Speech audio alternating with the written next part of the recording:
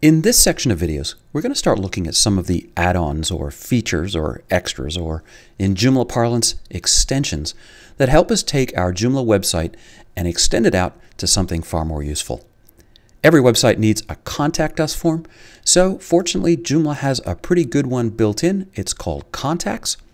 Before we dive into that, let's just take a quick peek at the forms extensions for Joomla on the JED or the Joomla extensions directory. One of the things that's happened over the last number of years in the Joomla ecosystem is that a lot of really good extensions have become paid extensions.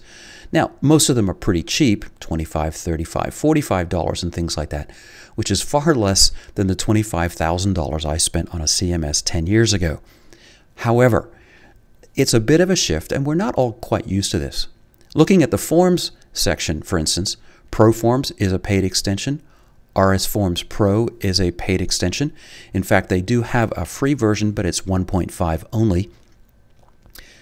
Breezing Forms is a paid extension. ViS Forms is free, but it's Joomla 2.5 only. Breezing Forms has a light version that is free for Joomla 3, and it has great ratings.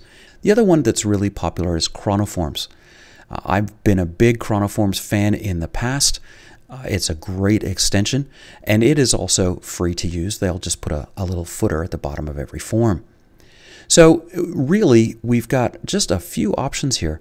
Breezing Forms, RS Form Pro, and Chronoforms tend to be the three big ones in the form area right now. My personal preference right now is RS Form Pro. It does a, a really nice job. I think it's a little easier to build forms than Chronoforms.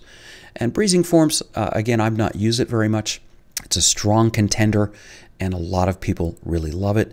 You'll see from the votes here, they both have about the same reviews, about the same votes, and they have exactly the same number of stars. If you're looking to get feedback on your site via forms beyond the contact manager, Either of those or Chronoforms is probably a pretty good choice. We're focusing on free extensions in this course. In that scenario, we could try Breezing Forms Lite, but we're going to stick with the main contact manager. Click on Components, Contacts, and the process is exactly the same. Categorize, Add, and then Show through a menu. Let me demonstrate it. Let's set up a new category called Staff and because this is the only category, let's put all the contact information in here as well. 1234 West Main Street, my town, Georgia. 555, 555, 555, and hit save and close. Click on contacts and click new. Let's put a couple of contacts in here. We'll uh, have Chuck Grimes, and he's going to be our head chef. We'll have Chuck at mycoolcafe.com. And I'm going to throw in an image here, just one of the ones that I've uploaded earlier. Feel free to grab any image you want there and insert that.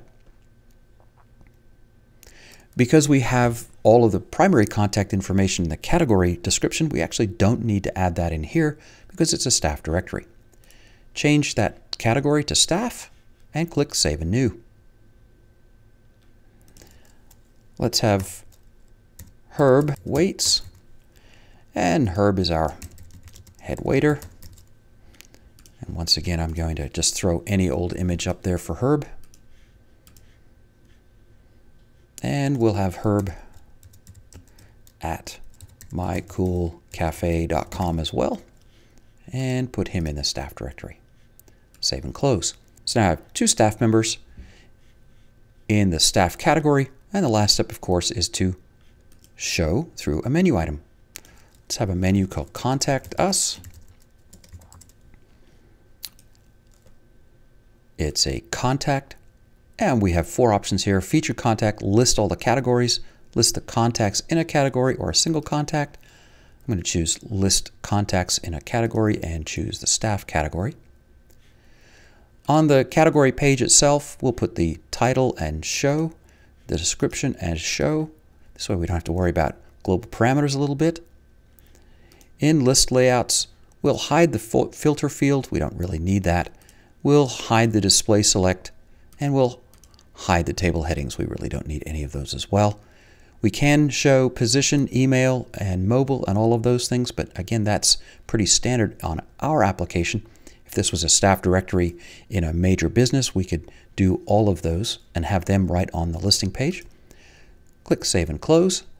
Go back over to my home page, hit refresh, and go to Contacts. My staff category is there, main contact information, and here's Chuck Grimes. When I click on Chuck, I have a contact and a contact form. This is my preference, not using the sliders. I'm not much of a slider guy, but you have three options there. If I go back into my Contact Us menu, click on Contact Display Options, I can change the display format from sliders to tabs to plain. If I say tabs and hit refresh, now they're in tabs. The contact component really hasn't changed that much since 2.5, and it's a great way to set up a pretty sophisticated contact management system on your website. If you want more than that, then again, I suggest one of those forms components we looked at earlier. Uh, my favorite, RS Forms Pro. There is an expense to it, but it can be well worth it.